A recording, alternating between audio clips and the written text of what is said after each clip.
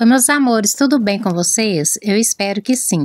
Aqui é a Mari do Dicas Simples, trazendo aí dicas de economia.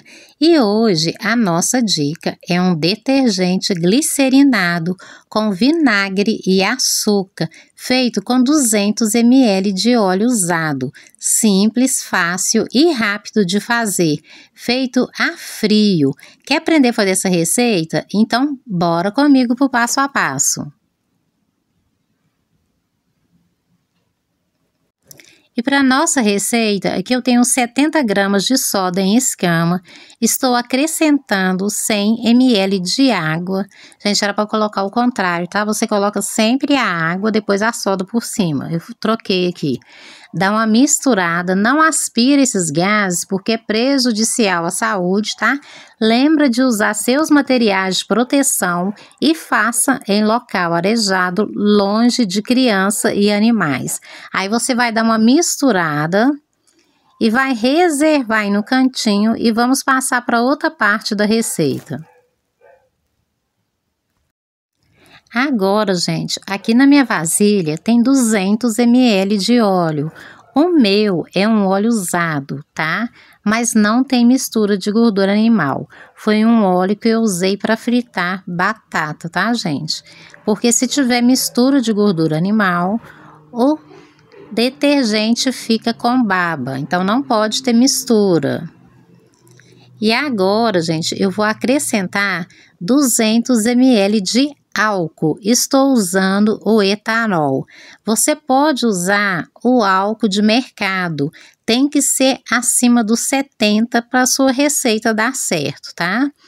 Aí vamos misturar até obter uma mistura bem homogênea.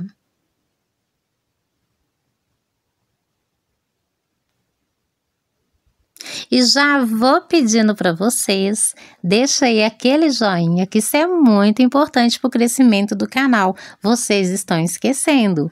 E também, se você ainda não é inscrito aqui no canal, se inscreve, vem fazer parte da nossa família e ativa o sininho para receber as notificações dos vídeos que eu postar. Agora, gente, nós vamos pegar a nossa soda que está dissolvida aqui e vamos colocar aqui na nossa mistura. A nossa soda está quente porque eu acabei de dissolver. E essa receita, gente, eu vou fazer em ponto de vela, tá? Vou fazer a frio. Caso você queira fazer em ponto de traço, levar até formar aquela massinha, tipo uma massa de pão, né? Porque às vezes você não tem segurança de fazer em ponto de vela, é fácil, só você prestar bem atenção, não tem erro, não vou dar corte.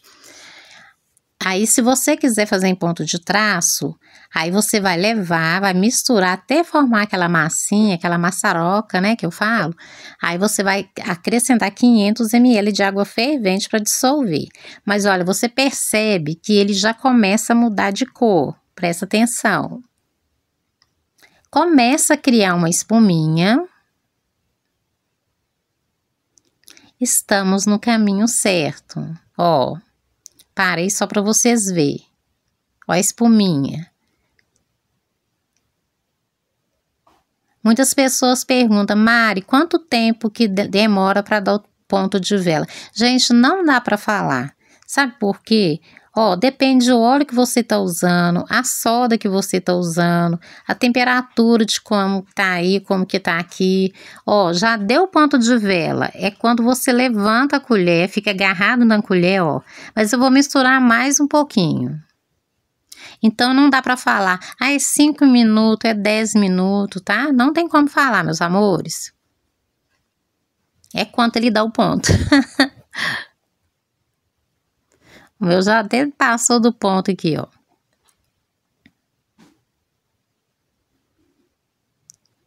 Ó, levanta a colher, fica agarradinho na colher, sem cair, ó, igual um fiozinho de vela mesmo, ó. Esse é o ponto.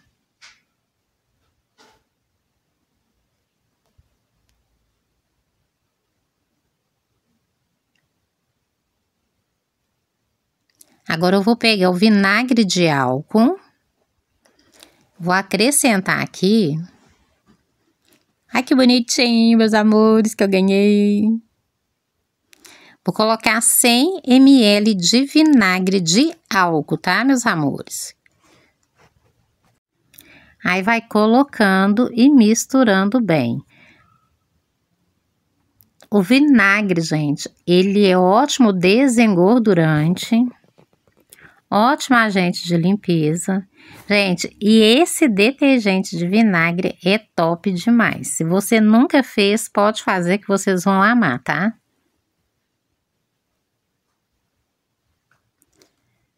Aí nós vamos misturar até dissolver esses gruminhos aqui. É uma receita bem fácil, com poucos ingredientes.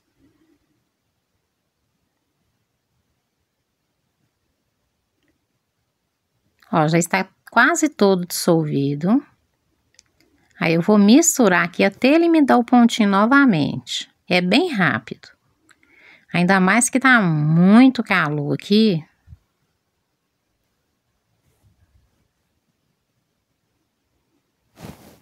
E aí na cidade de vocês, gente, tá muito calor? Porque aqui tá tenso. Ela começou a criar a matinha novamente.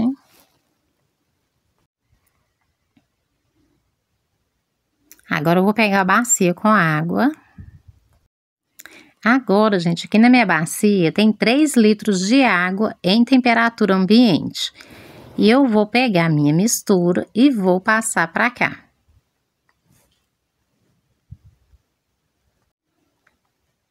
Aí vou passando e vou misturando bem. E não tem como errar, gente, ó, vai, vai misturando e vocês vão percebendo. Ah, gente, isso aqui pra mim é, é bom demais. Você perceber que já vai virando um detergente. é tudo de bom, olha só. Você vê essa transformação,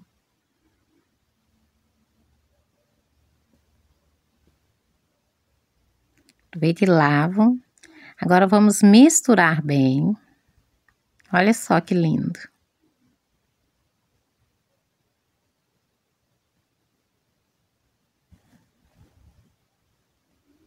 E o segredo para você ter um bom sabão, um bom detergente, é misturar bem, tá?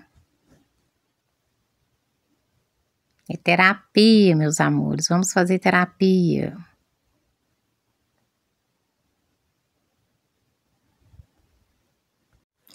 Agora, gente, aqui eu tenho um litro de água, aqui eu tenho 150 gramas, que é um copo americano, de açúcar, já que estamos fazendo um detergente glicerinado de açúcar e vinagre.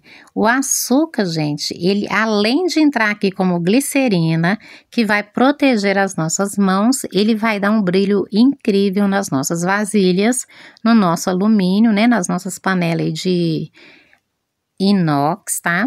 Então, vamos misturar bem. Para a gente poder acrescentar aqui no nosso detergente. Agora, vamos misturar bem.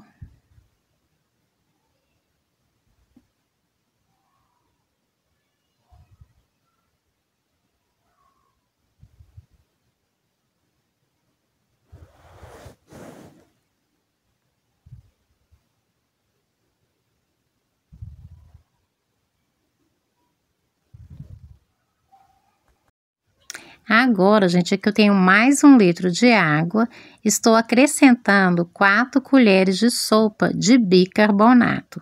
O bicarbonato também é ótimo desengordurante, é bactericida, germicida, ótimo clareador e ele ajuda a regular o pH do nosso detergente.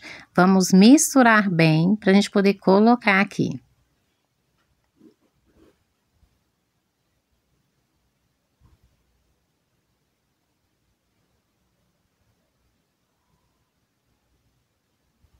Aí vai colocando e misturando bem.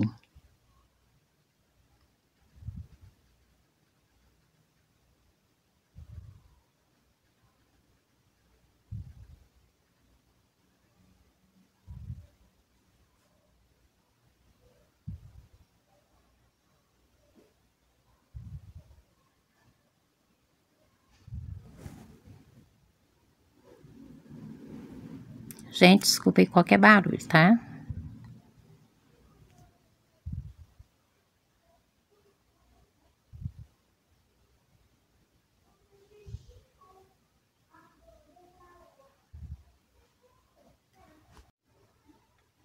Aí, vamos misturar bem.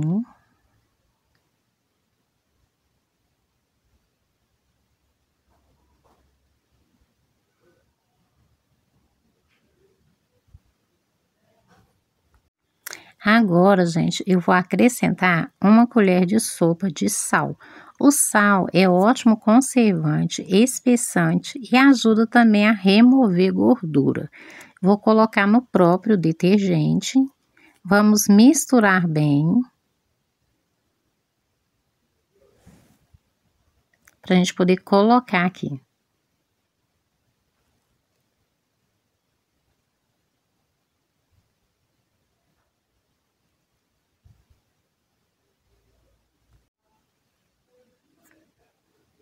Agora é só misturar bem. Olha que lindo, gente, que tá.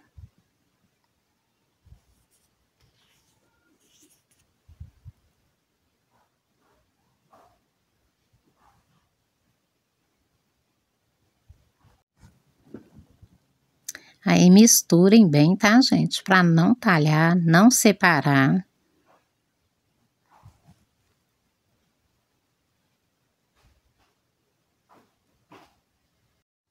Agora, gente, eu vou acrescentar aqui, é opcional, 50 ml de multiuso. Se você tiver aí, quiser acrescentar, ou uma essência, fica a critério, tá?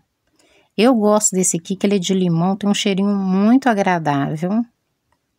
É opcional, tá, gente? Só para deixar o detergente com um cheirinho bem gostoso. Aí, vou colocar, vou misturar bem. Tá entrando aqui como essência. Aí, se você tiver algum aí, quiser colocar, fica a critério. E ele tá nesse formato aqui, gente. Olha só que lindo. Só que eu vou colocar um pouquinho de EDTA.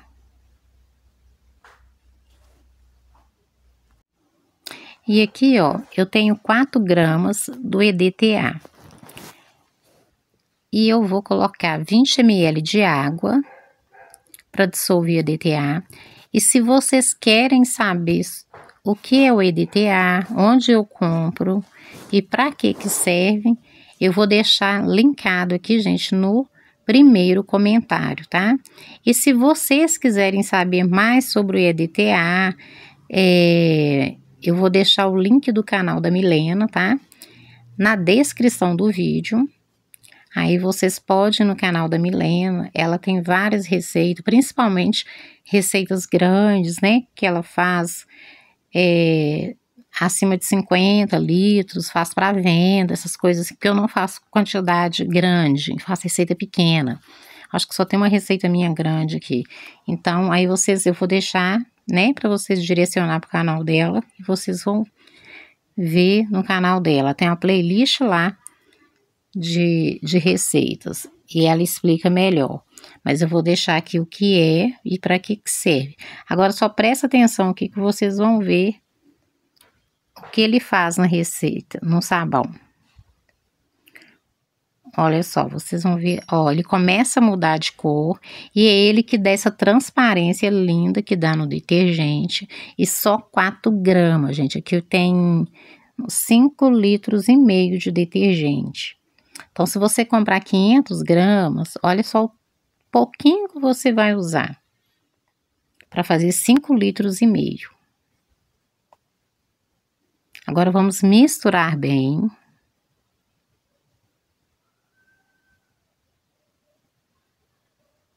Eu fico apaixonado com o resultado.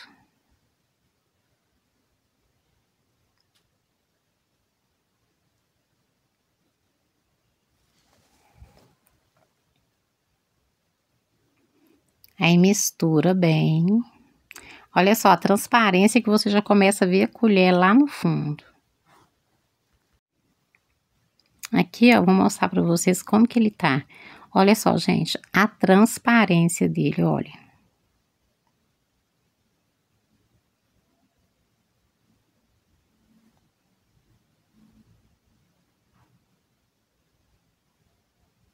fica idêntico ao detergente industrial. Eu vou deixar ele no descanso e depois eu volto para a gente finalizar a receita, tá?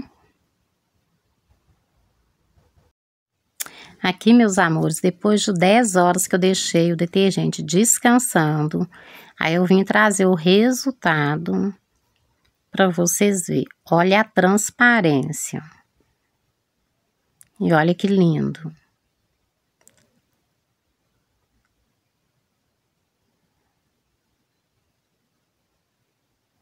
Ele tá igual mel. E agora eu vou colocar nas garrafas e fazer o teste para vocês. Aqui, gente, eu acelerei o vídeo. Olha a transparência desse detergente.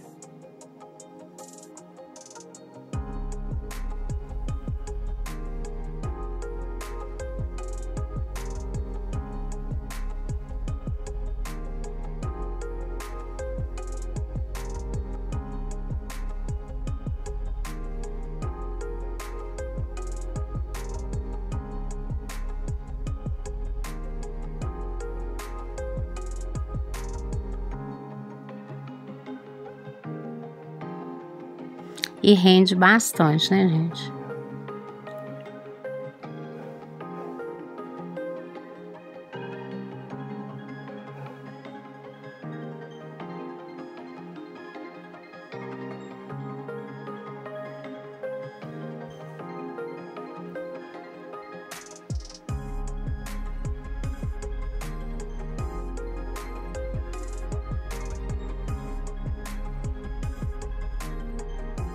Aqui, gente, eu deixei só um pouquinho do detergente. Tô aqui com a minha vasilha, né, de fazer chá. Olha a situação. Olha a situação dela, gente. Deixei um pouquinho aqui, ó. Meu bombril tá aqui. Vou pegar um pouquinho de água. Aí vou acelerar o vídeo aqui.